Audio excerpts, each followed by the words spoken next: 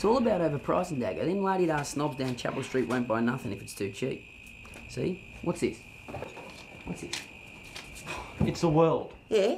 And how long have we been saving to see this bastard for real? I don't know, six, seven maybe? Exactly. You know it.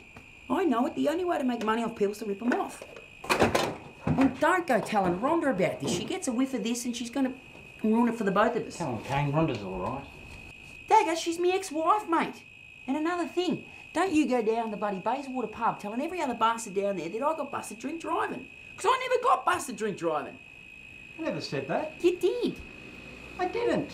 Ever since Rhonda went and got her boobs done in bloody Bangkok, you've been telling every bastard down that pub that I got busted drink driving. I didn't say that. How are we supposed to make good business as trash and treasure salesmen down at the Wantirna Trash and Treasure Drive-In Market if you've been telling every bastard in town that I got busted drink driving? Look, I'm an Australian, mate, and I'm proud to be an Australian, and I drink drive. A lot. In fact, I'll probably drive better when I am drunk.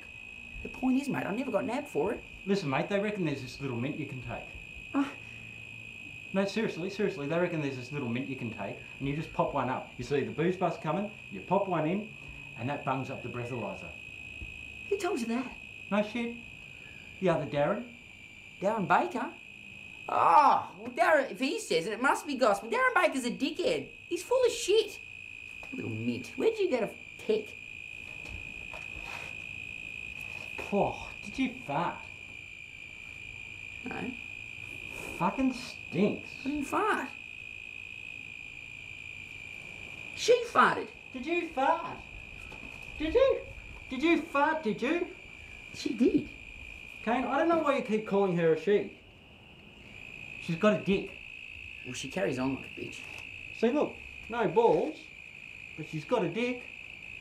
Yeah, well, she carries on like a bitch.